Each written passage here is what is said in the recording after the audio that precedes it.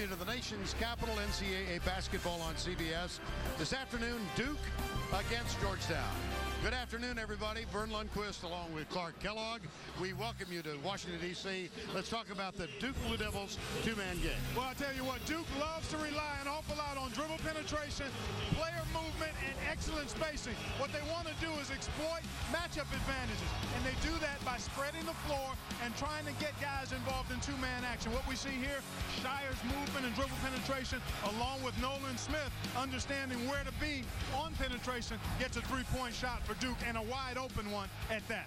Well, since we are in Washington, it seems appropriate to talk about the Georgetown stimulus package. Well, you start with the pair in the backcourt, Wright and Freeman, 31 points a game. They are outstanding. Greg Monroe anchors the middle. He's a double-double guy. And the Hoyas, when executing well, an excellent shooting team. Now, Clark, let's take a look at today's AT&T in-game analysis. For Duke, it's about the free throw game. They feel like they have more big bodies inside. They're going to attack the paint. For Georgetown, it's about CW4. That's Chris Wright, who wears number four. He's got to have a big game. Both teams, it's about 3D. For Duke, it's about three-point field goal defense. For Georgetown, it's about defending the big three of Duke. We'll be back with a tip right after these messages.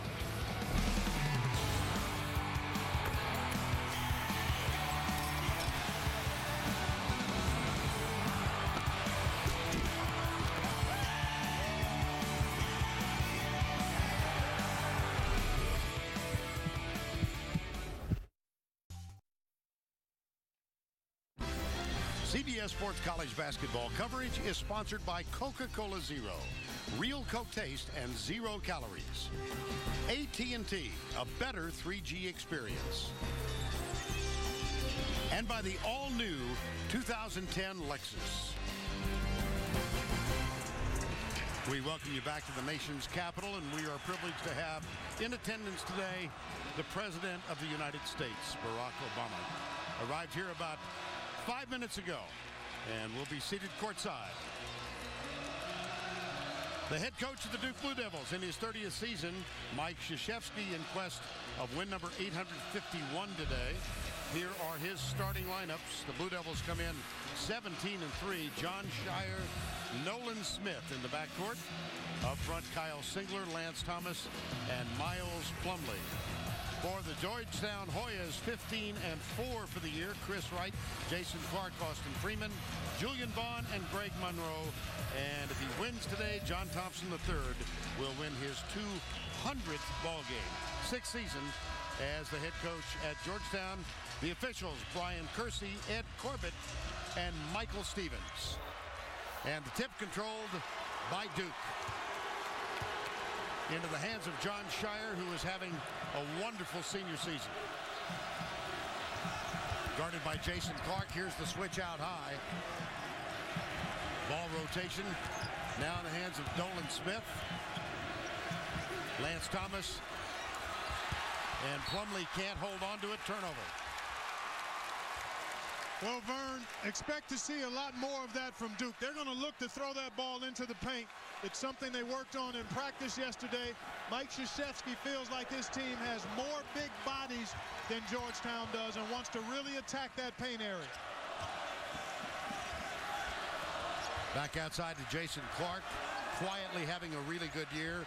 Monroe off the mark with the attempted three. Out of bounds, Duke ball. Now, Mike telling his team yesterday because Georgetown has no bench to speak of. He said, we'll penetrate, go to the basket. Every foul against a Georgetown starter is a good thing for us. And that's a good plan of attack when you have an advantage up front, as Duke does. Behind the back dribble for Scheyer, closely guarded by Clark Singler. In and out and over the back, Georgetown ball. After watching Georgetown work out and visiting with John Thompson III, he felt like what they worked on the last few days since the loss to Syracuse was about ball movement, spacing, and attacking the opponent off the dribble. Let's see if they're able to get that going. A turnover there as we had an offensive foul. That was a foul in the low post on Jason Vaughn. Plumlee drew him in. Now this Georgetown team went up to Syracuse last Monday night and jumped off to a 14 to nothing lead. And they wound up losing it. They got throttled. There's the pass inside, in and out again. Fade away, Nolan Smith short. Greg Monroe for the Hoyas. Julian Vaughn calling for it. Nice! Off the glass and in. Chris Wright.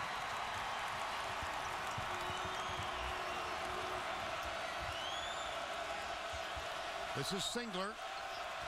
Gets the screen from Plumlee into the corner. Nolan Smith. Good job defensively so far by Georgetown. Lance Thomas, tough shot. Tip no good. Loose ball, putback is good as Monroe hit the floor hard. Well, that was one of the concerns of John Thompson III, Duke's ability to pound the offensive glass. Multiple shot opportunities there. And Lance Thomas does a terrific job, Vern, for a guy who is undersized at just having a nose for the basketball. Freeman thought about the three, and then Singler was out on him immediately. Here's Wright. And Monroe out on the perimeter. He play out there a lot. Three on the shot clock. Gotta hurry. They beat the clock and banked it in.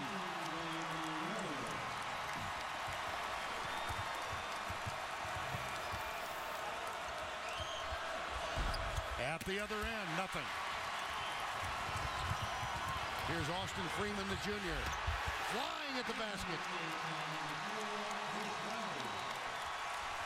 A lot of people feel like Georgetown wants to control tempo. They will run on you, as we saw there. When they have opportunities to fast break, they will push that ball ahead and try to score in transition. And that time they didn't adjust defensively because they lost track of Lance Thomas. Tough shot here by Greg Monroe.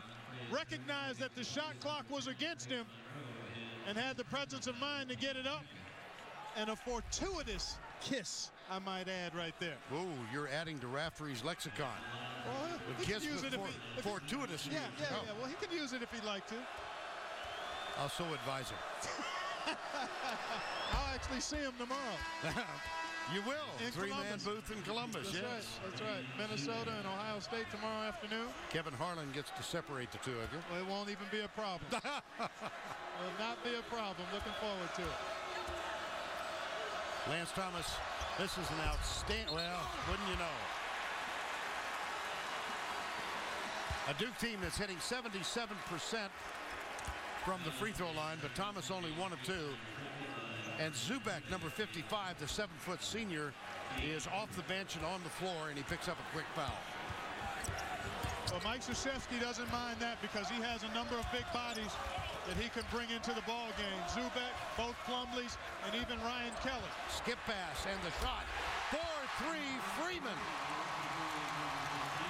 Beautifully set up. Excellent skip pass, Vern. It's really hard to be able to get to a shooter when that ball is thrown over the top of you. Back to Singler. Jumper over Freeman. In and out. And it's another foul on Duke. It's Zoubek's second in as many minutes. Well, Zoubek has been DQ'd, Dairy Queen, six times due to personal fouls. So no surprise as he picks up his second here. He's really aggressive in going to the offensive glass. And when you do that, not only do you use your lower body, on occasion you use your hands and arms. And he's got caught twice doing that. Spin move. Right. And he's fouled by Smith. Nolan Smith and Chris Wright have something in common when they were freshmen in high school at St. John's. Smith and Wright played together one year. Yep. And then Nolan Smith went to Oak Hill. There's right in the middle. And they got Lance Thomas with this one. Well, in the Big East, Villanova 19 and 1. Will they be the new number one when the polls come out on Monday? Syracuse one back. Villanova riding a 10-game winning streak, Vern. Jay Wright has his team playing at an extremely high level, and Scottie Reynolds, certainly in my mind, one of the leading candidates for Player of the Year, not just in the conference, but in the country, the way he's played so far. Plumlee underneath. Knocked out of bounds. President Obama watching and applauding. Georgetown off to a quick start.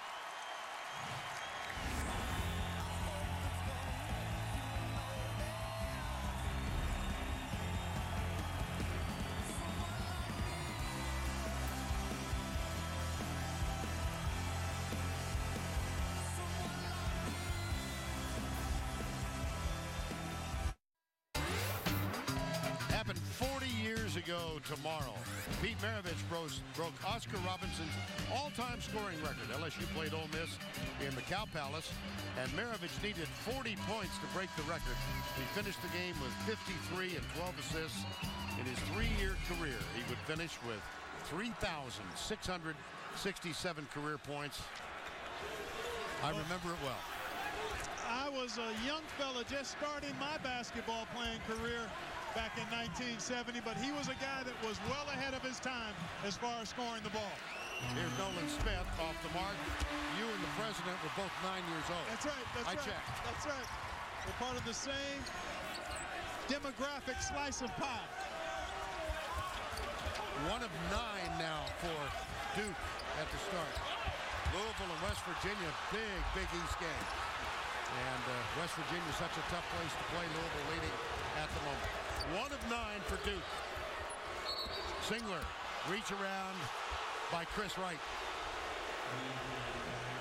Well, Duke in a battle for the ACC. Maryland playing very well. We're going to have the Maryland-Duke game in a couple of weeks. And uh, talking to Bob Harris. He said the, the other night, a longtime broadcaster for Duke, he said the Duke-Wake Forest game was the most physical game he's seen in 30 years. Duke from Florida State. Yeah, right, Right, don't right. Oh, yeah. Florida State has size, length, athleticism, and Duke finally gets one to go down. That's Kyle Singler knocking one down from deep. And it's been surprising to me, Vern, this season how Duke has not been consistently able to shoot the ball well. Right. I think some of it is they're rushing a little bit. They're forcing it inside. But they're a much better shooting team than they've shown so far this season. Zone defense now. They employed a little bit of this against Florida State for about five or six possessions at a key juncture in that game in the second half. And it really got them some stops and disrupted Florida State a little bit. Duke won that game 70 to 56. And Mike Krzyzewski chatting with us yesterday talked about the short turnaround. Yeah. That game to this because that was Wednesday night. Georgetown played on Monday. So a You few said more days of pre- preparation for Georgetown. And you said to John Thompson yesterday, well, you had a week to get ready for this. He said, how are you counting a week? Well, anytime you get four days or five days between games in January, that's equivalent to a week. I understood. He Yeah, did Yeah. under 14 to go. Despite the cold start for Duke, they're only down a three-point basket. So Georgetown has not fully taken advantage of the cold start by Duke. Tomorrow on CBS, watch the greatest musicians perform live at the Grammys and see which surprise duet will kick off the show. Plus, an all-star tribute to Michael Jackson in 3D. The Grammy Awards live tomorrow, only on CBS. And all of the featured music we're using in today's games is Grammy nominated.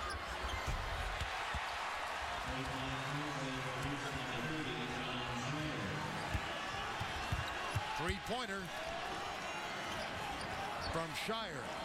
Andre Dawkins is also on the floor, number 20. Well, you know, Georgetown got off to that 9-3 start. A couple of baskets were layups. That This- was That's a three, and that's Chris Wright. CW4 has seven already, and he has followed every single digit scoring game of his after a loss with a double-digit effort. 34, 27, and 14 on the heels of three single-digit efforts and losses. Did not get to double digits against Syracuse. I talked to him before the game, Vern. He had a look in his eye that said, I'm ready to have a big one, and so far off to a good start. Well, this is a Georgetown team for only the fifth time in 100 years, no seniors on the roster. Three sophomores, four freshmen, so seven underclassmen. Well, Chris Wright had only seven in that loss, Syracuse Monday night, so he has exploded now, three of three in this game. Here's Jason Clark. Right with the screen. It's tipped out of bounds by Scheyer. Good activity there. If you're going to play zone and you want to disrupt the team's rhythm, you have to get touches and deflections in your zone on the wing area. You don't want any passes to be made easily. And for a team like Georgetown that is a rhythm, precision offensive team, anything you can do to disrupt that rhythm bodes well for you. Freeman guarded by Singler into the corner. This is Jerrelle Benimon off the bench. Usually only two men see action off the bench. And that one yeah, 24 second shot clock, 30, 35 second shot clock violation. I'm in a, an NBA building and I do NBA game, games on occasion, so I got my clocks mixed up, but a shot clock violation there. And this zone defense, Vern, has done a pretty good job for Duke here in the, the last few possessions. Scheyer quickly back around the corner to Scheyer. Singler double team. He finds the open man underneath and a foul. Lance Thomas. It does not get much better than that in terms of execution. Probing the seams and getting it inside. Chris Wright off to a nice start.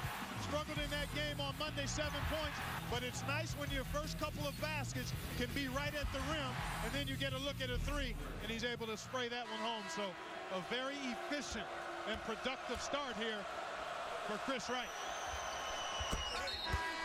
Lance Thomas gets the free throw, and that ties it up.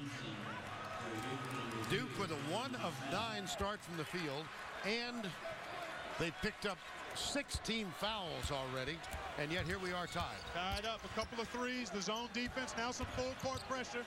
Nice job here by Mike Krzyzewski to kind of mix it up. And again, it's all about disrupting the rhythm that Georgetown wants to try to play with. Hollis Thompson also off the bench for John Thompson III, number one. Nice. Well done. Really nice. Monroe. That's what that big fella can do. He can play with his back to the basket, but he also has the ability, as he showed you there, to face up and put it on the floor. And against the zone, he'll be away from the goal for that reason, because he's got size as a passer to see over defenders, and he's also got ball skills enough to get to the to the paint off the dribble. Couple of screens set by Plumlee. Entry pass, loose ball, clean takeaway. Thompson, here's two on one. Freeman got it.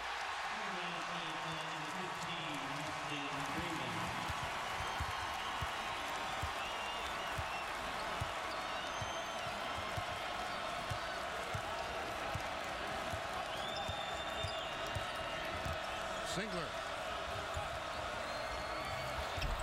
Beauty.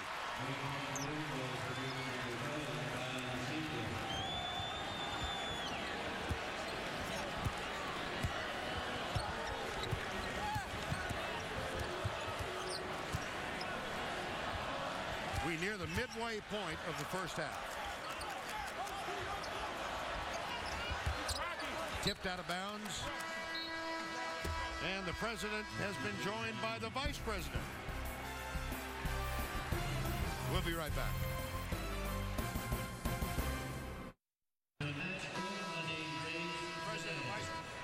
President and Vice President both enjoying the game. Of course, it's well known that President Obama's passion is basketball. This was during the campaign in a workout against the North Carolina Tar Heels. Just missed the layup. Of course, he did have a guy named Hansbrough who was there defending him. That's right, Tyler. Yeah. That can't affect your attempt going into the lane against a guy a few inches taller. Guy whose nickname is Psycho. Boy, what a college career he had. Oh, incredible. Capped it off with that national championship last year. There's the interception and the outlet pass. Taken right back by Hollis Thompson.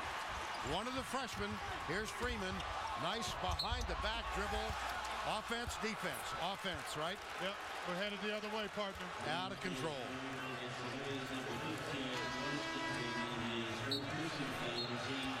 So the team fouls now. Six for Duke, five for Georgetown. You know, Vern, over the last decade, I don't think there's been any team in college basketball any better than Duke. at coming on the road in a big game environment with all kind of electricity and buzz going on in the building and being able to stay the course and weather that initial storm that you get from the home team. And as I say that, a Plumlee tip-in gives Duke, I think it's first lead. Yes. The trail by as many as six. At the other end, nice, beautiful arc on the ball as Freeman cans that three. Nobody's been playing any better at the two-guard position in the country than Austin Freeman.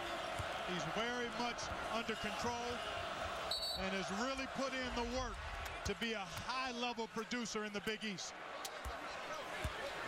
CBSSports.com is your destination for complete college basketball coverage.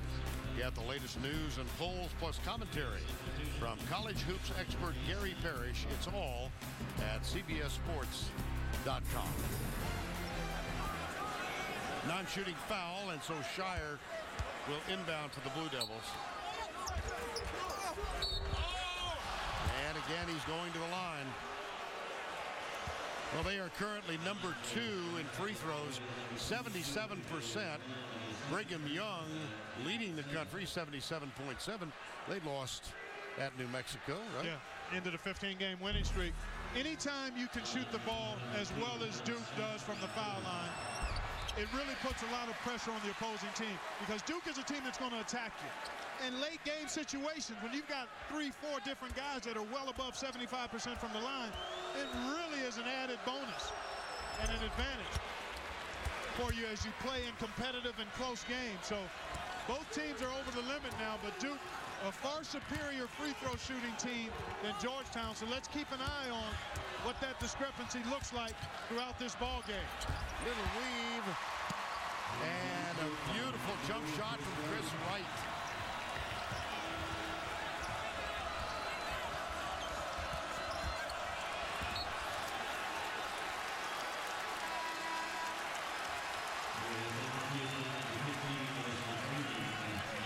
Looking at Jerrelle Benimon, another of the freshmen. Uh, he and Hollis Thompson, the two most used players off the bench. Yeah, and in talking to John Thompson III, he mentioned that he wants energy and just good, solid basketball plays from those two guys.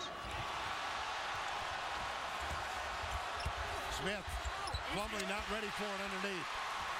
Numbers, pull-up jumper. Why not? Young fella's feeling it.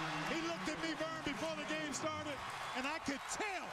You hear me what I'm saying? I could tell that he was bringing it today. And it's been the case all season. He comes off of a poor game or a poor scoring game, and he explodes the next time out. It speaks to his competitive spirit, and it speaks to his will to get out here and compete. Over the top, no basket, offensive foul.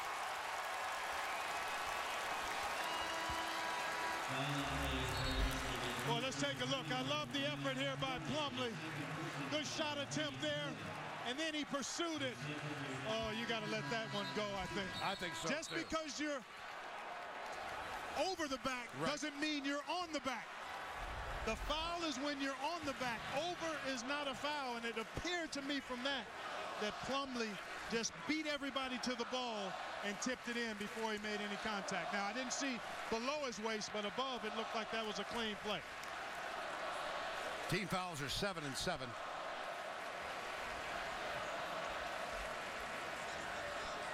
And uh, we're going to have a look. I think they're trying to determine who was fouled and who the shooter should be. Let's take another look at it. Jump hook, beautifully executed, just a little strong. And there's some contact with the arm. So, and then he did push with that left arm. So maybe it's um, maybe it may be Greg Monroe. That's who it looked like he pushed with the left arm as he tipped it with the right. Let's look again. Jump hook, back iron. Yeah, it looks like Greg Monroe is the guy who got pushed with that left arm. So it is Monroe who goes to the free throw line. 6'11 sophomore from New Orleans. Over the years, when John Thompson Jr. was the coach, through the presence of his son, they've had a great recruiting pipeline to the New Orleans area. Been so many great players out of that particular city who come here and played. was talking to uh, one of the Georgetown officials yesterday. He thought it was because of the Jesuit connection. Could very well be. Yeah. very long, very strong Jesuit presence in New Orleans. I'm sure that was a factor. And then when guys see guys ahead of them have success at a particular school, then that lends itself to continuing to have that type of relationship and that type of success recruiting a certain area. Well, they got Jason Clark on the foul.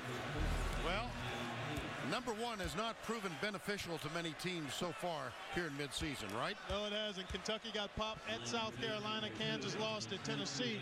Kansas will play at Kansas State tonight. I think whether if they compete well in that game, whether they win or lose, I think they very well could be the number one on some people's ballots. Okay. If they do lose and it's fairly lopsided or it's not competitive, then I would think probably Villanova on the heels of a 10-game win streak would probably move up to the number one spot. You're not going to give Jim Boeheim and Syracuse any love? I love what they're doing, and, but I think for this week, Okay. the number one team would be either Kansas or Villanova. Now, at the end of the day, come April 5th, Syracuse might be the number one team. I mean, they've got that type of potential and talent. Freeman, jump stop. Beauty. That's an 11 to 1 run now, and Georgetown has its largest lead. Turnover, two on one. Clark, two more.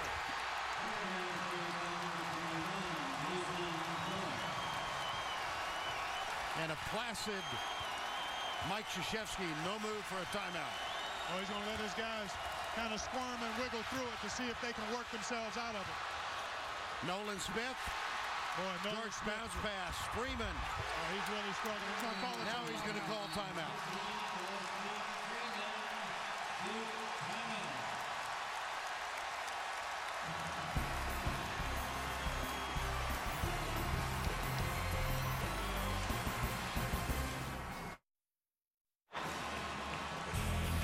Let's get you up to date on what's going on. Kentucky lost to South Carolina, as we mentioned. UConn, after that big win against Texas, lost on the road to Providence. And Villanova, 19 and 1.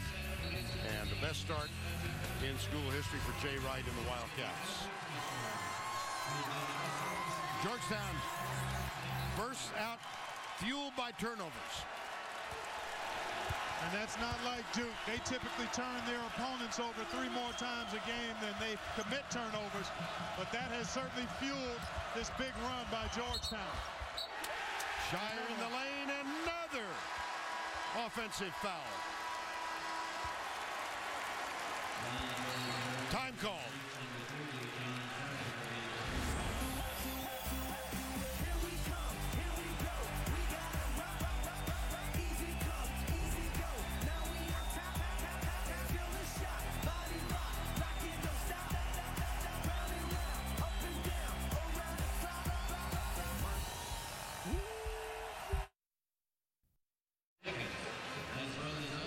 Georgetown leading by 11 with 7.05 to go.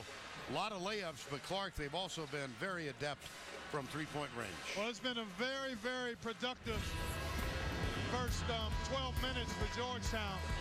The efficiency has been splendid.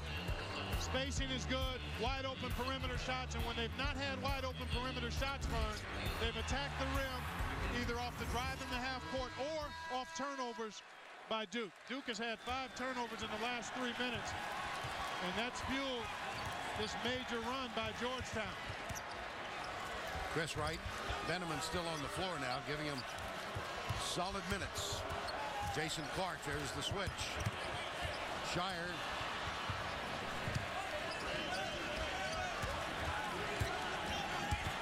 Now, he looks comfortable with the ball, and he's a great passer. Here's Monroe. There's another three. Greg Monroe, known for a lot of gifts in basketball. One of them is his ability to pass the orange, as you would say. Yes, sir. Yes, sir. See, osmosis. Oh, if nice you run. hear me using fortuitous kiss, we've been together too long. Well, that was a nice kiss right there Yep. Mason Plumlee as he was able to get inside and finish. Now for Duke, can they come up with stops? Georgetown has been able to get whatever it wants offensively. Driving the ball, Greg Monroe facing the basket, creating opportunities. Big fella, showing you his ability to set up other people.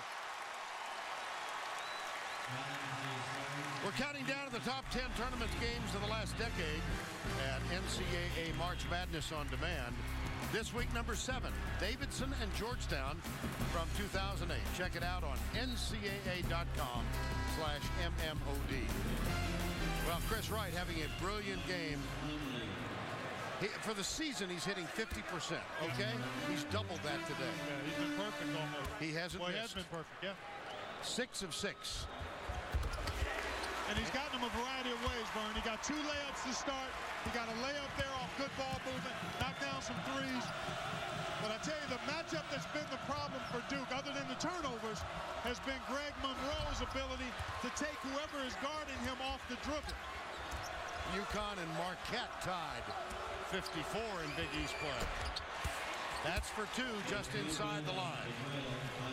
Kyle Singler. This is where Duke has to try to stem the tide here at the defensive end, Vern. They've got to come up with some stops, handle Greg Monroe away from the basket. Let me get your attention here. Georgetown has hit its last 10 shots. Well, you think about the quality of those shots, Vern. They've been high quality looks. There's a turnover Yep. forced by Duke. Scheyer's got it, no numbers. Thought about the three. Nolan Smith playing back home. Which can be a challenge sometimes, Vern. It's additional distractions. You're glad to be home. Friends and family can get some of your attention. And Nolan Smith lost his grandfather early this week, so he has not been as sharp as he's been most of the season. A long way to go yet in this one, but clearly has not been up to par to his normal standards. Now, Jon Scheyer in the top five in the ACC in six different categories. He's just having a terrific year. He really is having an All-America type year, Vern. He's so efficient and steady-handed with the ball. He's got good size as a guard. And to me, it's just kind of a throwback in that he's a guard. You know, he can, Right. you can run your offense through him, or he can be okay off the ball as well. And he can defend the point guard or a two guard. I mean, he's just a really solid guard. Now, Mike Mike Krzyzewski is shying away from referring to him as a point Right, guard. right. He's a guard. And right now, Duke has to continue to guard at this end. It's a pretty good guard sitting next to Krzyzewski. Steve Wojciechowski. Yeah, that's right. Chris Collins over there as well. Another turnover. That's the seventh for Georgetown. Into the corner it goes. Freeman's there defensively on Singler. And a little around foul.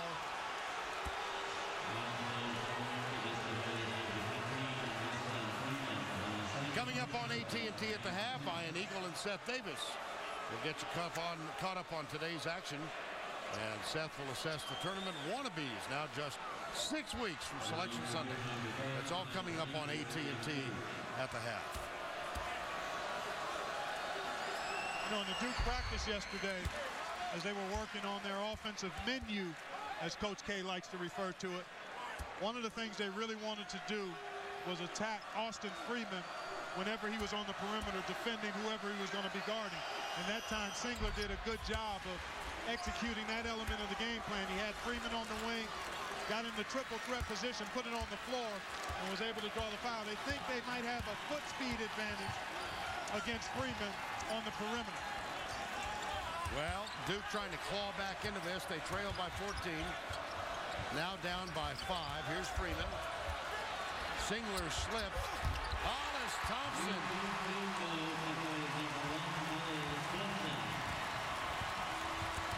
That's a blessing for Georgetown. Unexpected points. The starting five for Georgetown scores 89% of the points. So anytime they get numbers from the bench, we call that found money. Monroe battling for it. Chris Wright has it. A tad late with that pass. Yep.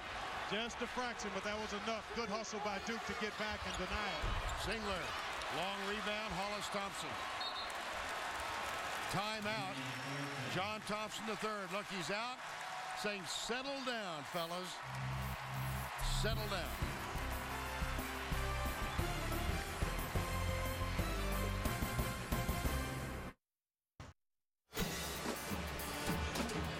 Forty twenty-eight, late first half. Now let's take a look at our State Farm Coaches All-America basketball team candidate as selected by the National Association of Basketball Coaches.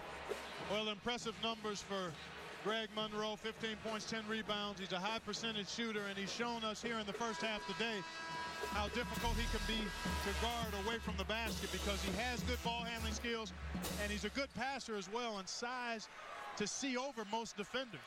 Because you can't really put a big guy on him because he doesn't have the foot speed necessary to guard him. You put a smaller guy on him, and he can back him down. So it's a quandary for Duke as they go man-to-man -man in defending Greg Monroe. Clean block as Benimon went up for the shot. Well, he allowed that ball to get away from his body, Vern. He did not force the defenders to go through his body to get to that ball. He had that ball out there on an island, and the Blue Devils were able to make a clean play on it.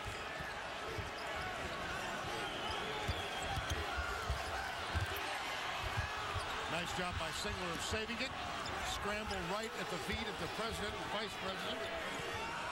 Scheyer from way outside. Boom. Wow. He's unflappable, isn't he? Yeah. His demeanor never changes. He's steady. And that's a big basket because it takes it down under double digits again. What's your goal now before halftime if you're Duke? Quality shots and stops. Whatever the numbers say after that, you take. But you need defensive stops without fouling, and then you've got to get good shots every time. No more turnovers. Get a good look every trip. 2.23 to go first half.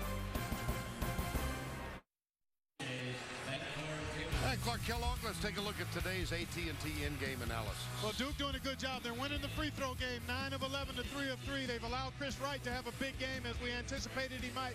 Now, defending the three-point line, Duke has not done as well. 5 of 7 for Georgetown. The big three for Duke averages 53 points a game. That's Smith, Scheyer, and Singler. They have 21 right now, so Georgetown doing a pretty good job in that area. About points off turnovers so far? Well, you don't have to deal with a set defense if you can force turnovers. You've got an open court situation. Typically, you'll have a numbers advantage. And these turnovers, Georgetown is converted into points at a high rate. Earlier this year, a couple of weeks ago, as a matter of fact, in defeating Seton Hall, Georgetown hit 68% from the field for the game. They are leaving that mark in the dust right now. They've hit 16 of 21 for 76%. And they have 11 assists on those 16 made baskets. A good ratio is usually 50 to 60%. Probably 55 to 65% assists to made baskets, and they're probably a tad above that right now. So they found a nice rhythm, Vern, and they want to attack off the dribble, and that's when it got started with Chris Wright able to get to the rim on the first couple of possessions for Georgetown. Wright uses all the iron, and they're excelling at the free throw line today. That had been a, a difficult uh, task for them the last couple of, of games. Uh, against Syracuse, 6 of 11 for 55%. Rutgers, 11 of 19, so under 60 right. the last two games. They haven't taken many, but they've made the ones they've taken. But the offensive execution has really been good for Georgetown. They've handled Duke's pressure quite well by spacing the floor and attacking Duke off the dribble.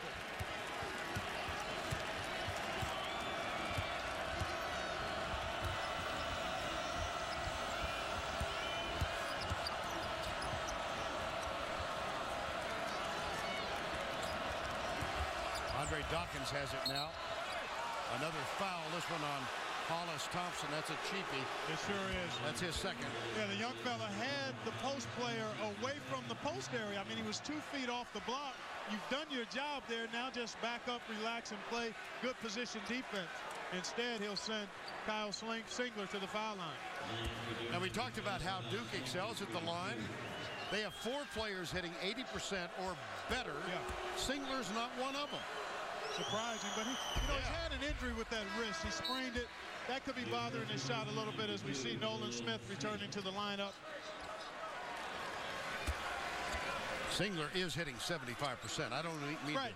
to suggest he's shabby. Right, exactly. No, he's an excellent. He should be an 80 plus percent free throw shooter. You look at that stroke, Yeah. that follow through.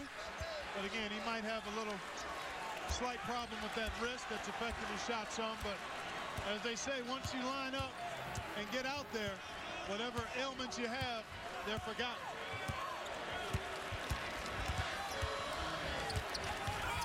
Chris Wright, perfect so far.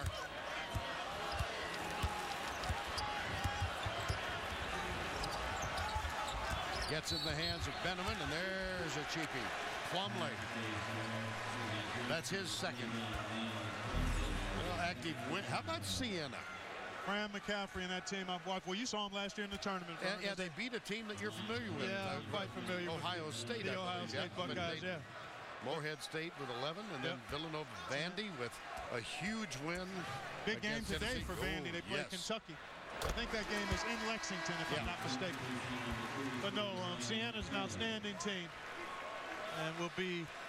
I'm anticipating that Sienna will be in the NCAA tournament. We got a long way to go, but if they're there, they will be a hard out for Yep. whoever they match up with. Benimon gets two. The lead is 11 with 95 seconds to go before the break. Vern, you asked me a moment ago what is Duke's goal here over the last three next the last three minutes of the half. They'd like to have the deficit at single digits, and that's a great pass. Yep, Singler, And a pretty good defensive play, too. I think that was Benimon who tied him up. and it's Georgetown ball on the alternating possession. Boy, that was good execution both ways. An excellent pass, a good job of sitting down in the post by Lance Thomas, and an excellent play by Benimon to deny that shot opportunity without fouling.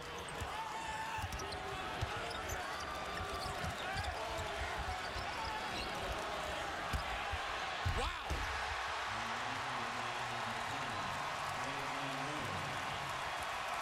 Thirteen-point lead with a minute to go in the half.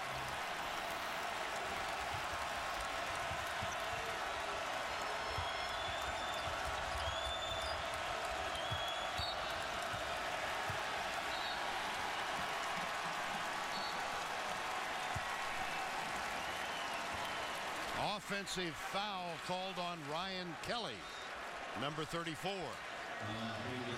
Well, the last time this uh, Duke team played here, 2006, they came in undefeated, ranked number one in the country, and the Hoyas knocked them off 87-84. A game so significant in Duke's in, in Georgetown's mind, it is celebrated with a huge mural, photographic mural over at McDonough Gymnasium, which is the practice site for this team. Yeah, it's a beautiful mural. Yeah. Somebody's missing in the picture. Yeah, yeah, it was almost like, where's Vern? Well, we saw Billy Packer. Yeah, we did right? see Billy. We made him out. Yeah, we, we made saw- a few other folks out there were at the broadcast table position. Were you perhaps in the midst of an immediate I don't know. Getaway? Chuck, Chuck Gardner. Ah. I hadn't thought about that. it could have been an escape. That's It's you know you don't you don't play where where's Waldo. It's where's Vern. Chuck Gardner was there. Yeah. Statistician. 46-33. two second difference between game and shot clock here. Well, Duke will try to max this out.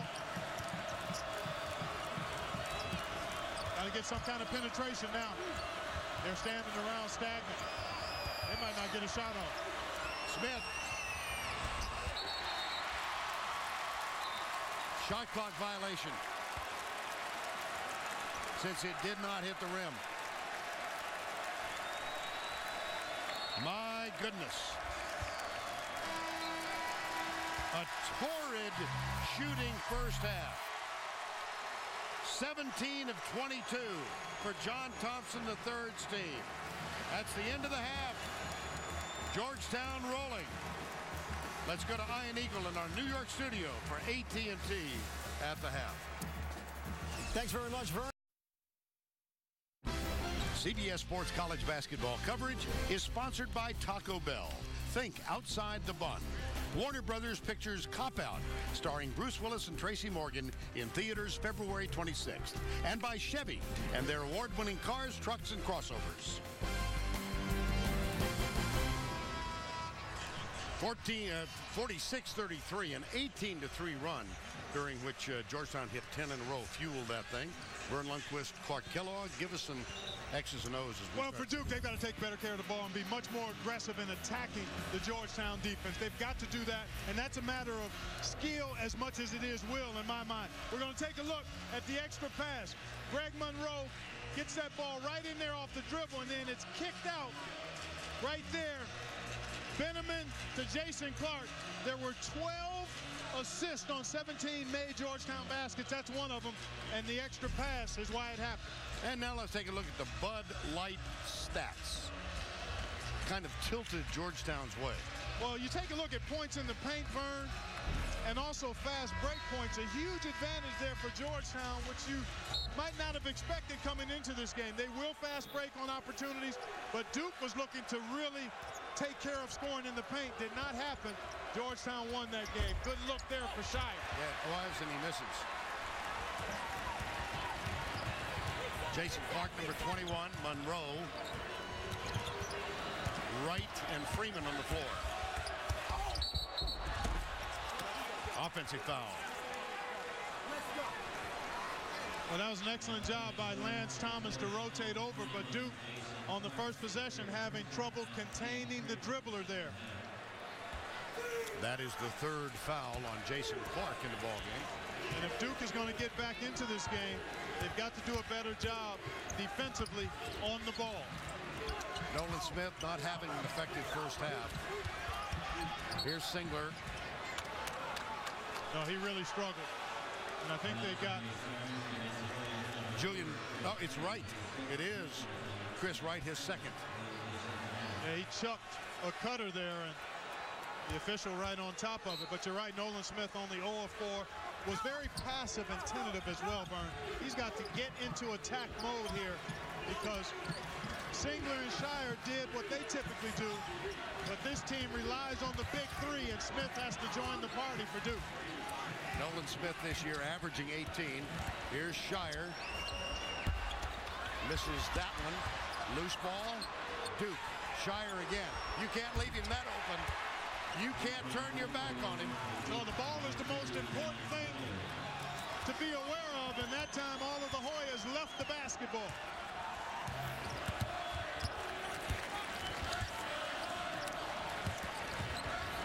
Loose ball. Duke's got it.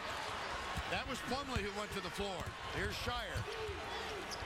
Nolan Smith. Good news for Duke. And he exhaled pretty deeply when he came back across midcourt. Well, that's got to feel good for the young man.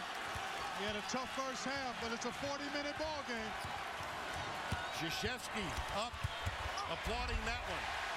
Jason Clark for two. I've said it a couple of times, Verne, Duke has to control the dribble better. They are allowing Georgetown off the dribble, whether it's Monroe, Wright, Jason Clark, to penetrate the defense too easily. In and out for Singler.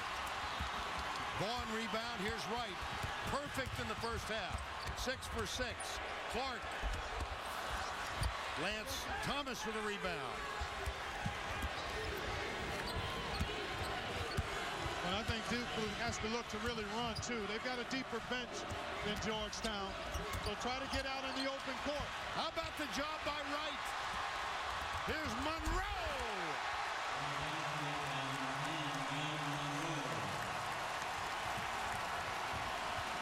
It was Chris Wright's defense.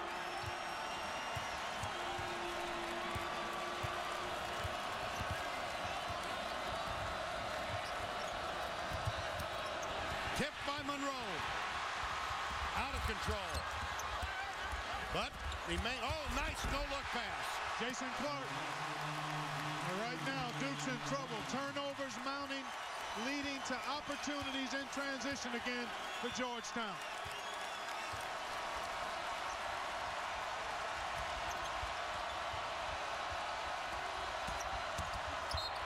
Singler well, you might have noticed in our transition shots that all of the coaches for both uh, Georgetown and Duke wearing tennis shoes today. Most coaching staffs around the country are doing this as a, a reminder of their attempt to raise funds for coaches against cancer. And Mike Krzyzewski, Monica Thompson III herself there. It's up and in.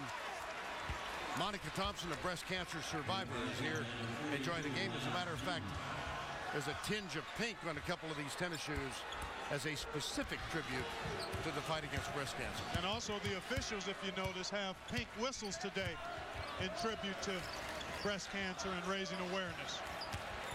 So a collective effort by all involved. And obviously for a significant cause.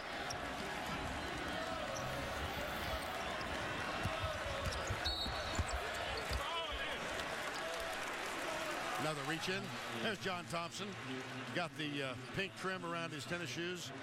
His wife Monica here. There she is. Breast cancer survivor. Yeah, had a chance to say hello to her and she's doing quite well.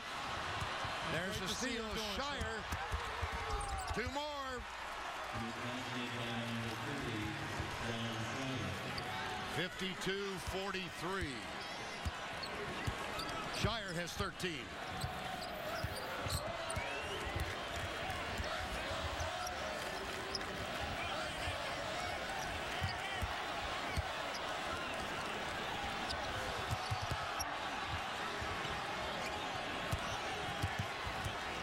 This is Vaughn. Right. Tipped again. Another Georgetown turnover. Scheyer's got 13 points. Feeds and a travel. 15-31. Time call.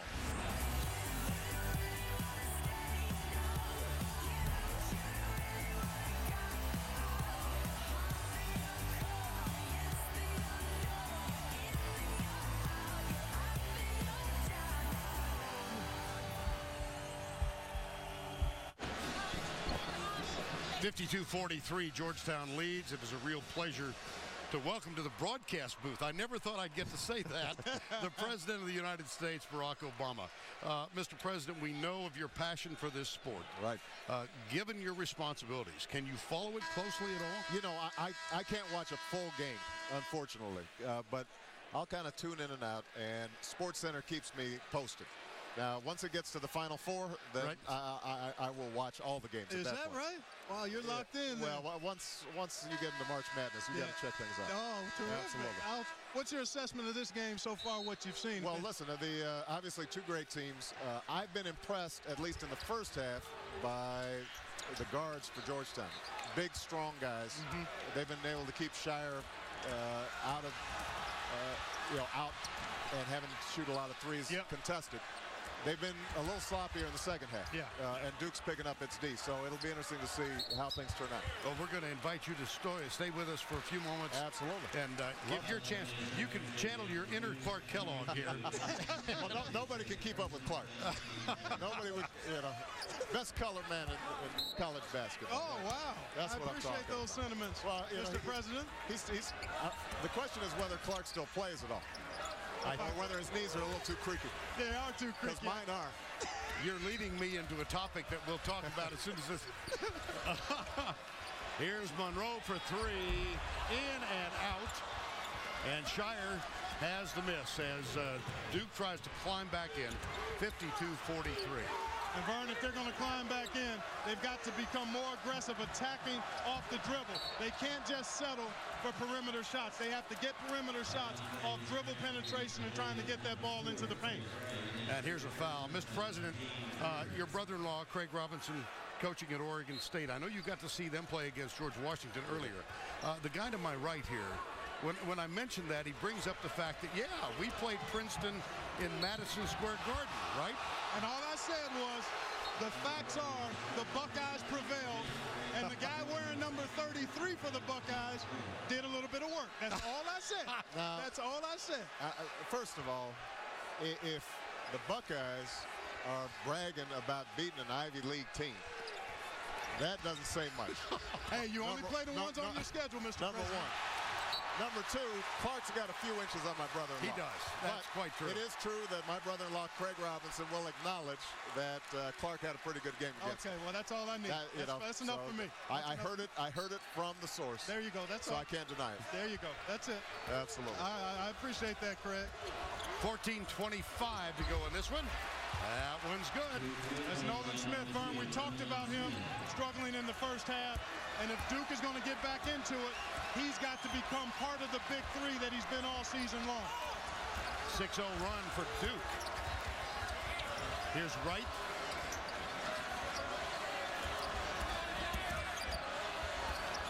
Austin Freeman, they had huge first half. Monroe. How about those? That's a terrific. That looked a little bit like your effort against Hansbrough. In Oh, that was, except that he made the layup and I didn't. That's the difference. That's the difference. Listen, when you see the player of the year coming at you, You want to handle the replay? well, let, this was a terrific spin move, and he didn't get any help coming back. That's well done. You can handle this job if you need it. Well, obviously, you've got one that's requiring a lot of your Yo. time and attention, but it looks like After can do this one, retirement. I'm coming after your job, Clark. Just letting you know. Okay, So all right, all right. you either I'll have three more years or seven. I'm not sure which, but you need to plan accordingly. Because I'm going to do some play-by-play. 54-45. And here is Smith. Uh, Clark mentioned that playing at home now, a little tension for him, a little pressure to play before family and friends. Absolutely. Always a little tougher, Vern, when you're at home because there are a little more, there are a few more distractions. Right. You want to play well. Sometimes you get yourself too hyped up, or sometimes you try to let the game come to you too much and you're tentative. I thought that was the case in the first half with Nolan. He was a little tentative. Now he seems to be much more engaged and a lot more aggressive. Georgetown, on the other hand, now has become a little more stagnant. They've got to continue to attack. Well, we uh, we showed this once. If you'd like to see it again, Oh, that's heartbreak right there. Oh! That was a nice move, though, Mr. I was sure that was going. C- Can I say that scrimmage uh, after five minutes, I was exhausted. I mean, because Lawson's running around. Oh, Fast, fastest guy I've oh, ever yeah. seen on oh, the court. Oh, yeah. He's may, I- may I, could be not, uh, I could not keep up with those guys. could I be totally irrelevant? Please. ir- ir- maybe irrelevant. Irre- irreverent, as irreverent well. and irrelevant. Thank you, sir. I big moment. I couldn't handle it. You're obviously a left-hander. Yeah. Do you have any problems at all going to your right? You know, uh, I went to the uh, Republican House caucus uh, just yesterday to prove that I could go to my right once in a while. Uh, but you. there's no doubt that I've got a stronger left hand. Listen, the, the person who's probably got the worst case of nerves uh, this afternoon is my assistant, Reggie Love. Because you know that guy's a Duke guy. That's Played right. with Sean, uh, Correct. Shane Battier. That's right. That's right. And he had this Duke cap. It was lighting up. And uh, I think, I haven't seen him here, so he must be sitting behind the Duke Yeah, I bench. think he is. He- He is. he's a little stressed at the moment. Mr. President, thank you for the honor of uh, joining us in a three-man booth. It, it was a great pleasure, and you guys do a great job every day. And I, I would just ask everybody to remember uh, not only our troops, but folks who are out there uh, helping people in Haiti and continue to contribute in that disaster. Thank you, sir. Thank you, Thank you Mr. so much. Appreciate you guys. Thank you. Nearly 3 million people may be affected by the catastrophic earthquake which hit Haiti. You can help by supporting the American Red Cross. Text the word Haiti to 90999 to donate $10 to the Red Cross. That number again, 90999. 1332 to go in this one.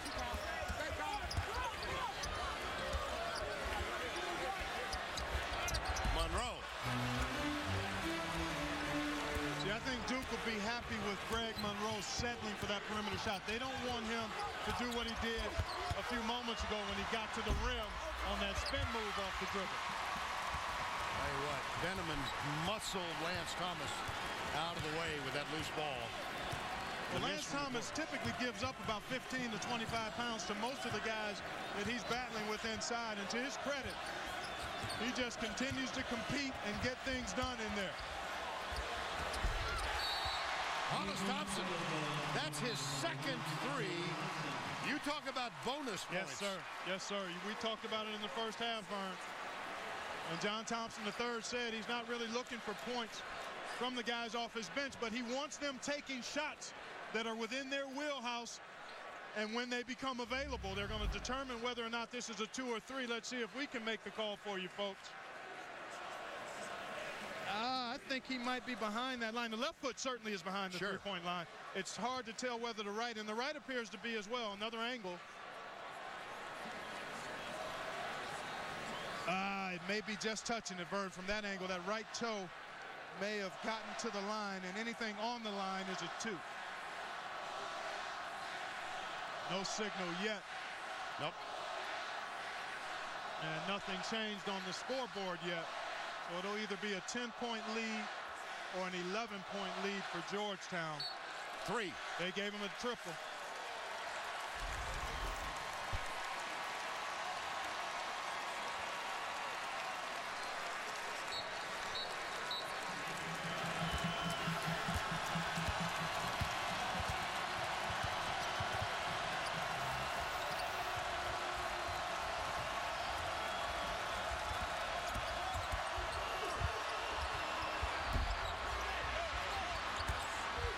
Smith blocked.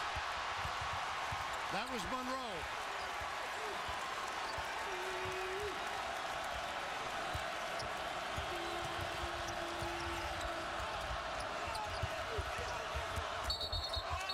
Offensive foul. I thought it might have been an offensive foul. Instead, they're going to get the Georgetown defender. Yeah. Benimon pointed at Lance Thomas and said, it's on him, right? Yeah, they were tussled up. I mean, tangled up, rather. And it looked like Thomas had maybe rooted him out, but the officials right on top of it and got Benimon for the foul. That's the third on Benimon. Already the 16 foul for Georgetown, Burn. That's three. Nope. Hollis Thompson at six seven, skied up near the rim to clear the ball. I tell you what, John Thompson III has gotten some good production from his bench guys today. Benimon and also Thompson.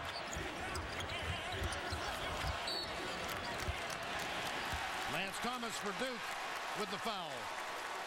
That's four on Thomas. 57-46 time call. 11.56 to go.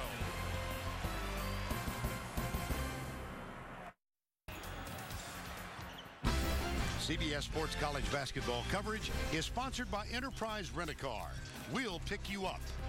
Sonic, your team is better. Time to let everyone know. TaterTaunt.com.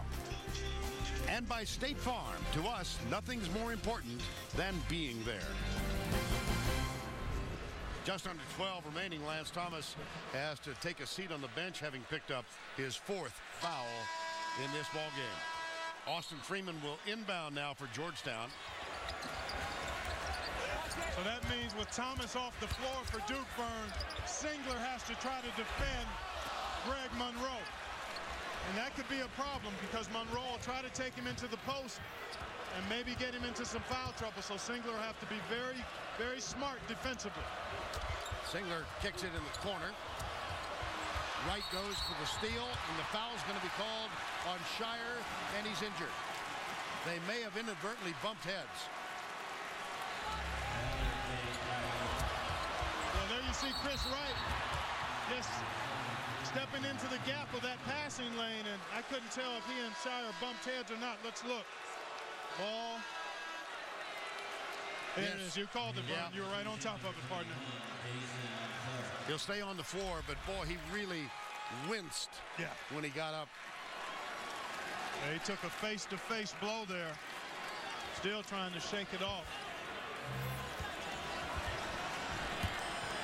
Chris Wright, Jason Clark, Hollis Thompson, who's played very well in this game, and Benimon both on the floor. And Plumlee defending Greg Monroe now. So that's a better matchup for Duke. Singler picks up the foul. That's his second. And it's one and one. They go into the bonus. Well, that'll be the case both ways now, Vern. Right. Georgetown has committed 16 fouls as well, so what could have possibly been an advantage for Duke may not be now since both teams are in the bonus. And Duke has had a tough time handling the driving ability of the Georgetown Hoyas. And I'm sure John Thompson III will have his guys looking to be aggressive in attacking the paint off the dribble. Jerrelle Benimon, a freshman out of Warrenton, Virginia. That's only the eighth free throw he's attempted all year long. He's hit six of them. And Georgetown is perfect at the line. Eight of eight. You can do the ads. And I felt you exhale too. I hate to jinx it. Singler with a pump fake, and he draws the foul from Benimon. What a heads-up play. He'll shoot three. Now the Power Conference leaders so far in the ACC, Maryland, Kansas, big game tonight, Villanova, Michigan State, undefeated in conference play out west. California will see them against UCLA next week. Vanderbilt in the west and Ole Miss, make it the other way around, Vanderbilt in the east. Ole Miss in the West. Singler had 12 points at the half. That's his first point of the second half. Well, Nolan Smith did not score in the first half, and he has nine here. Actually had three points in the first half. Nolan Smith has six here in the right. second. Benimon's going to get a rest for John Thompson III. And Singler shoots one more. Austin Freeman back on the floor. He'll replace Thompson. Boy, Duke has just not been able to penetrate that 9 to 13 point gap. That's right. been the resistance level. How can they penetrate it? Well, they've got to get stops, and they've got to do it without fouling because Georgetown is over the limit as well now. So uh, Georgetown is in the bonus. Then they've got to be very aggressive in attacking when they do get the ball. Right. Back to right. Scheyer's on it. Gonna get a little shove underneath. Looks like Ryan Clark. No, Kelly, I beg pardon. Well, it's been a closely called game, but I think a well-called game from the standpoint of not being allowed to use your hands on the perimeter or in the post illegally. So it's incumbent upon the players, even in a physical contest, to adjust and play defense without fouling. The first Georgetown miss at the line today. We near the midway point of the second half. How about that? Freeman, and he's fouled from behind. Kelly picks up two quick fouls. Well, the careless pass leads to this one, Vern. He just tries to kind of float it to a teammate, and he throws it right where the defender's hands are. And that's Austin Freeman. We'll have a chance at the line. And you look at this guy's numbers. Austin Freeman, 19 points a game, four rebounds a game, three assists a game, shooting 58% from the floor, 56% from three-point land and 82% from the foul line. We like to say a guy is really good if he's a 50, 40, 80 guy. He's 50, 50, 80, which is phenomenal. And we talked with his coach yesterday and said, how do you account for the improvement in his game last year to this? And John Thompson III said he decided that basketball was important to him. Prioritized it. Another way to put it is the light came on. Yep. And he decided I'm going after this with a lot more vigor. And boy, has the work paid off. No foul called. Smith gets it back. Smith pump fake, open for three, off the front rim. Here's Wright, two on two, so he'll settle. Boy, Chris Wright has not forced very many plays today. He was splendid in the first half and has really been content to get other people involved here in the second half. Oh, the crowd was ready to stand as one in that one. Coming next, the PGA Tour on CBS takes you to Torrey Pines for continuing coverage of the Farmers Insurance Open. Jim Nantz, Nick Faldo and the gang out uh, in San Diego. And Imada, D.A. Points tied at 11 under. Phil Mickelson hovering there at the bottom of the leaderboard at minus seven. Monroe. Andre Dawkins on for Duke. He'll replace Kelly. Monroe, we mentioned out of New Orleans, twice High School Player of the Year in the state of Louisiana.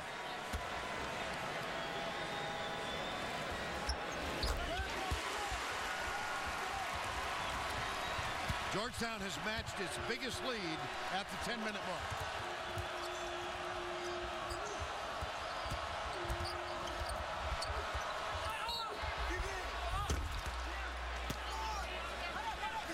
Foul underneath. Boy, nice job that time by Kyle Singler to get into the lane. When you're going to effectively drive it to the rim, you've got to get paint touches. You've got to get your feet in there or the ball in there one way or the other. And that time, Singler got his body and feet in there, drew defenders, and then gave it to Plumlee, who was able to draw the foul. But you have to get paint touches to put pressure on the defense. You can't hover around the perimeter all the time and then settle for jump shots, especially when you're on the road and you're trying to come back.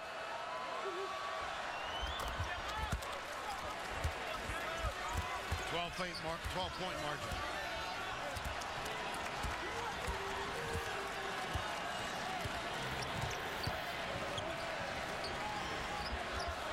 Good day from the foul line for both teams so far. What a beautiful pass from Freeman. And he finds Monroe going up for the layup. Monroe fouled. He'll go to the free throw line. Well, the new Top 25. UConn 19th. See how long they stay there. Vandy and so forth. And how about this team, uh, this quartet that dropped? Uh, Mississippi State, North Carolina, Northern Iowa, all teams that possibly could be tournament teams.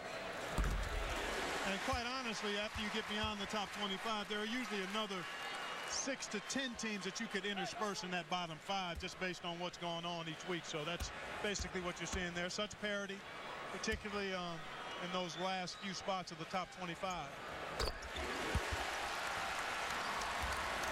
Boy, Georgetown has excelled yeah. 15 feet away from the basket.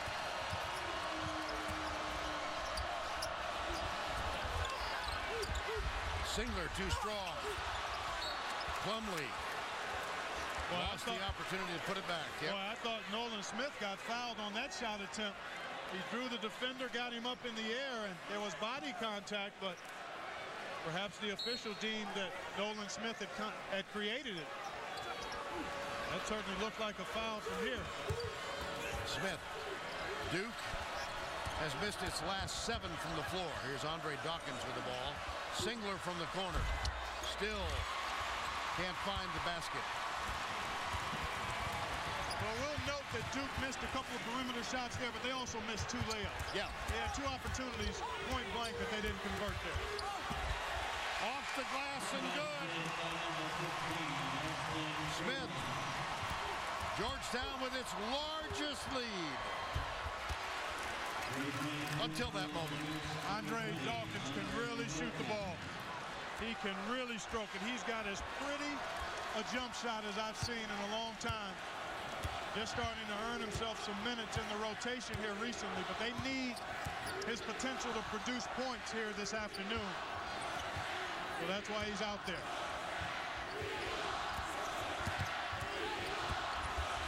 Monroe. He's been a problem all day, Vern. He's been an absolute problem away from the basket off the dribble. Vaughn for that one. Scheyer, short. Rebound Monroe. Eight minutes to go.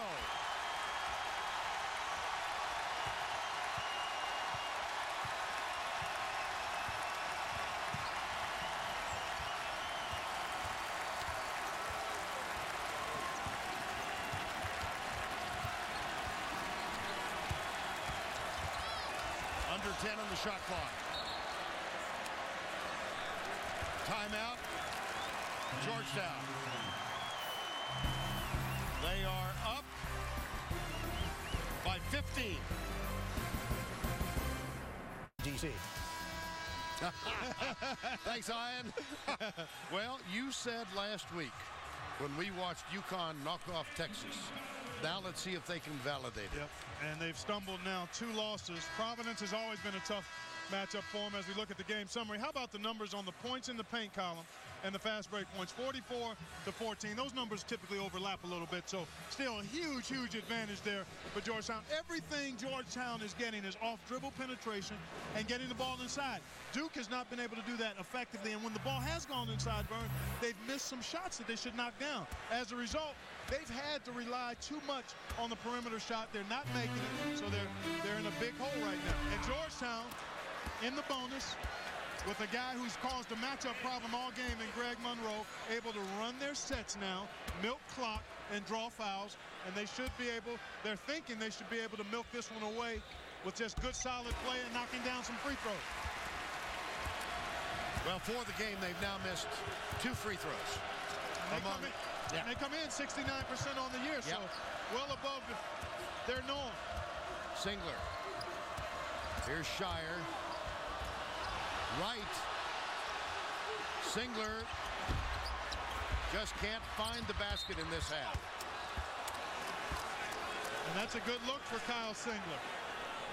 But he struggled all year long with his three-point shots. Scheyer has struggled in conference play with his three-point shooting. And again, when you don't have anything going on inside, it really makes you fairly easy to defend there's Dawkins. He will go to the free throw line. Well, you mentioned the big guy, Greg Monroe. What's he done? Well, he's shown you his versatility today, Vern. They put him outside at the very start, and he took the ball off the dribble. Good hustle here. But he's really created problems because he's too big to have a big guy, have a small guy, and a quick guy guard him inside, and he's too quick for a bigger guy to defend him on the perimeter. 17 points, four rebounds and three assists. But even more than the numbers is the fact that he's made it tough for Duke to be good defensively because anytime Georgetown needed somebody to be able to break down the dribble, break down the defense, he was the guy. He was kind of an outlet valve.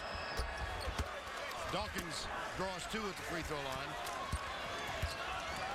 But unless they get on some kind of a torrid run, it's going to be a case of too little way too late. Well, you always have the chance to do that when you can shoot the three-point shot. But if you're not going to get stops, it won't happen. Monroe.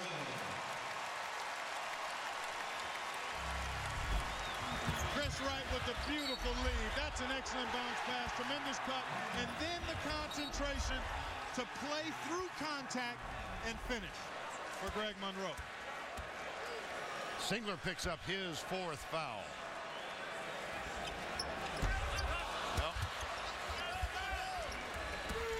Here comes Jon Scheyer. I'll tell you another thing that's been impressive with Georgetown. Not much unchallenged around the basket area. Excellent move by Scheyer. Georgetown, because they have been so efficient offensively, Vern, they have limited transition chances for Duke. And the half-court defense has been well prepared and well set. Oh, yeah. Oh, my goodness. Beautiful find on the cut. That's Greg Monroe. He's showing you everything in his book bag here today, Vern. That's why he's special. We talked about his ability as a passing big man.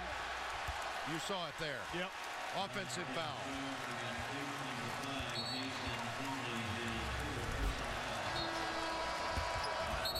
There's Plumlee trying to get to the rim. Nice job by Julian Vaughn to step in and position himself to take that charge. And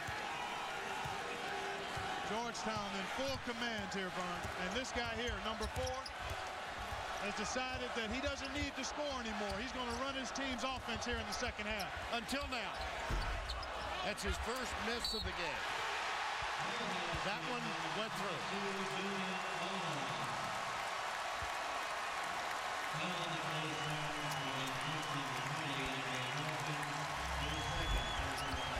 Good look here for Wright. And then now you're starting to see, I think, a tired Duke team. I think emotionally and physically. The Blue Devils had a game Wednesday night at home against a very physical and long and athletic Florida State team. Smith, little too strong, put back, blocked. Here's Austin Freeman, right, that's no look, pass. Okay, go ahead and stand up.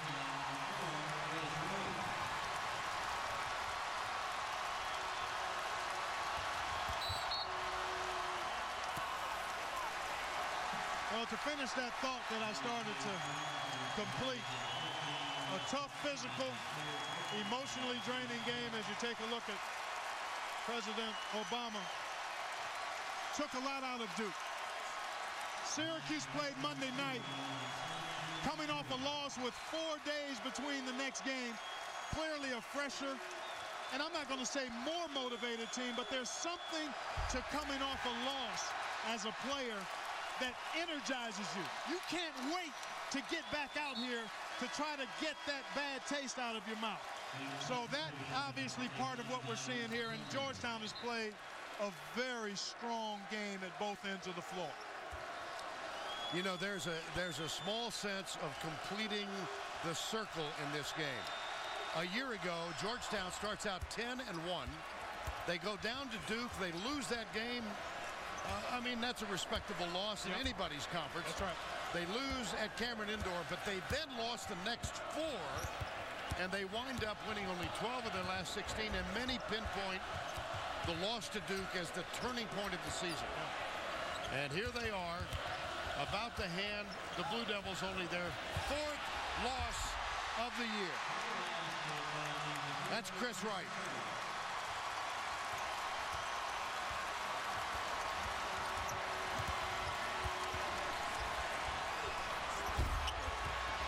Nolan Smith with a miss. Plumlee. Timeout call.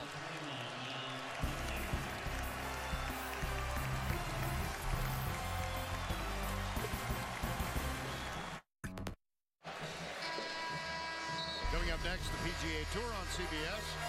We'll take you to Torrey Pines for continuing coverage of the Farmers Insurance Open. Third round coverage from San Diego. Imada and Points still tied for the lead. Mark Leishman and Michael Sim currently two back as they play the front nine at Torrey Pines. Well, a sellout crowd on hand for this one. Uh, I, I'm smiling because Georgetown is 9 and 1 in home games this year. They're undefeated on this floor. They played one home game at Old McDonough Gym against Old Dominion. 2,500 people in the stands. It was full. Old Dominion won the game. And it's the second time in as many visits. That's right. Old Dominion has beaten Georgetown there. There's some question as whether John III will ever schedule another one. In the meantime, this has become a blowout. Yeah.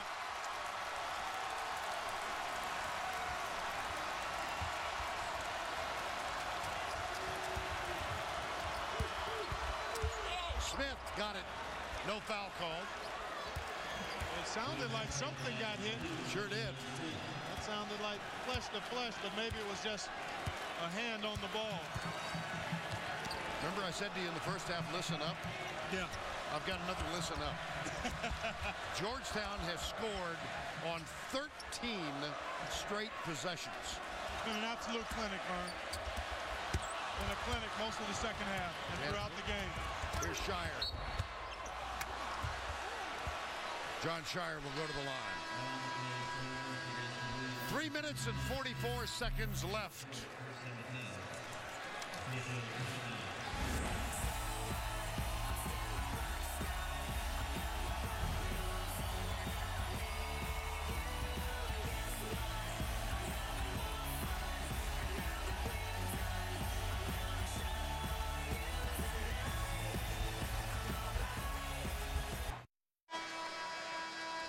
Here's this week's top 10. It uh, changes every week, it seems. Kentucky, Kansas, Villanova, Syracuse. Word from uh, the truck that Syracuse losing to DePaul by four at the half. It's only halfway there. Syracuse has an awful Yeah. lot of offensive firepower.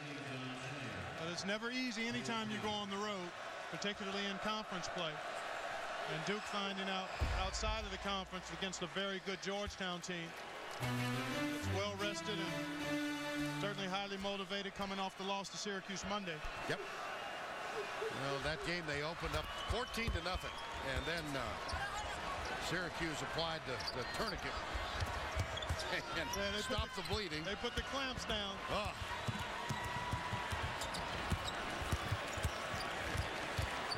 Well, this has been a brilliant performance offensively by Georgetown, and this guy with the ball has been a huge part of it.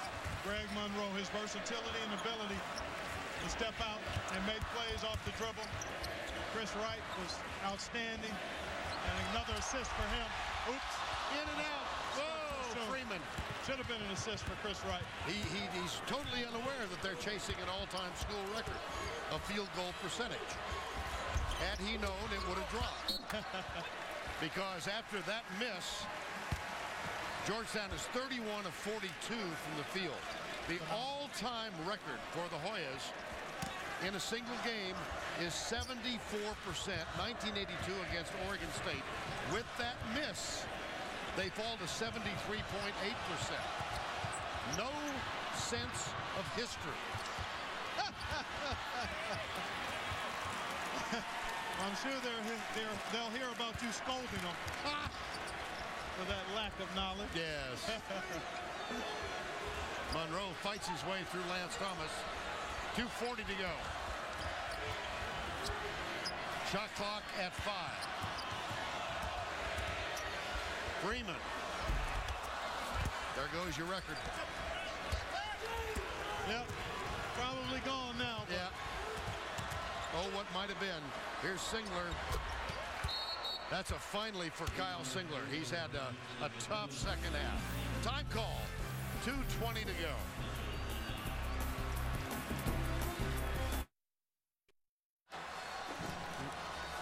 We got a quartet on this graphic. Uh, undefeated teams in big power conference play.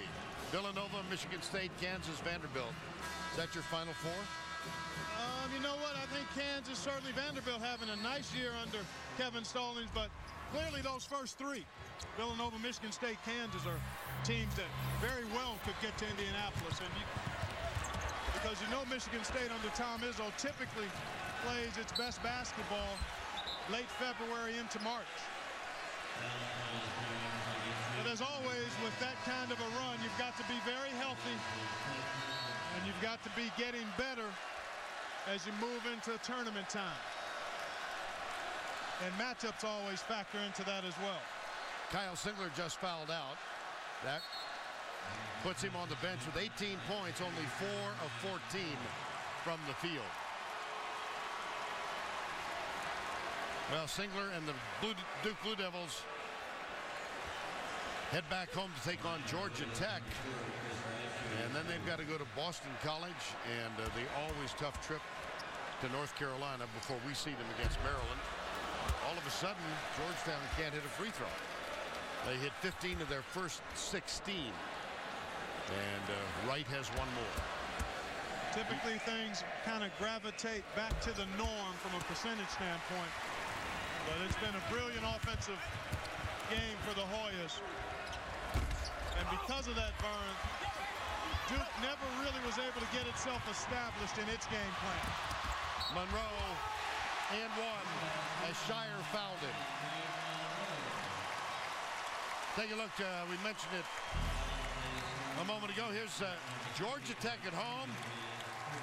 But I tell you what, that front line for Georgia Tech, Favors and Lawal, Shumpert in the backcourt. I mean, they're they're a physical, they're a very physically imposing front line, which will present challenges for Duke. Another miss at the free throw line. Actually, Georgia Tech beat Duke already this Yeah. season. One of plus three. one. Yeah. 145 to go. Chris Wright has been a distributor of the basketball in the second half. Eight of nine from the field. Here's Freeman.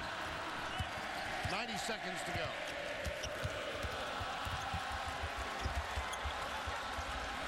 Benimon. Six on the shot clock. Wright stumbles. One second timeout called by the Hoyas.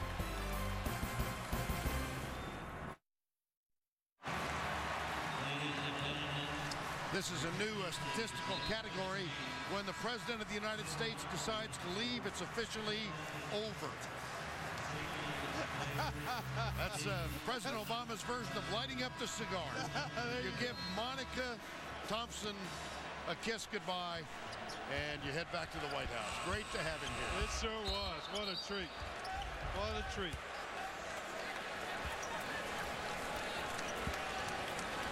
And so 112 to go.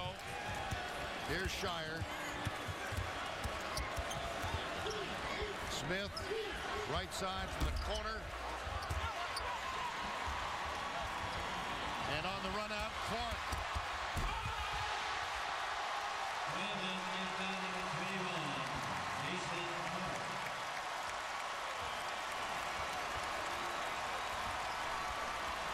Smith.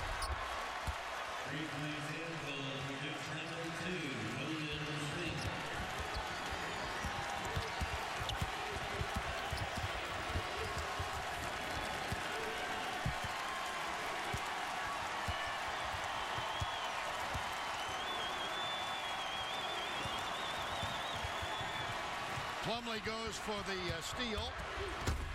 Wow. Oh, he banged that one home. Little, Mason Plumlee, a little anger in that one, huh? little emphatic. Yep. 20 seconds. Scheyer with the steal. Nolan Smith off the glass.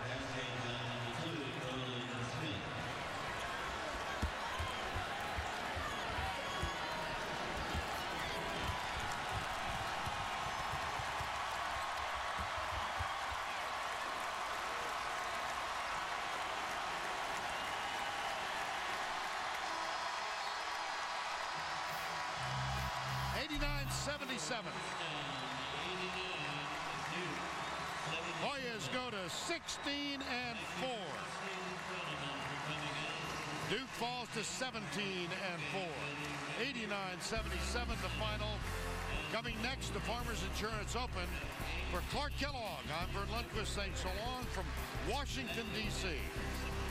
Duke falls to Georgetown. This is a presentation of CBS Sports, exclusive home of the men's basketball championship.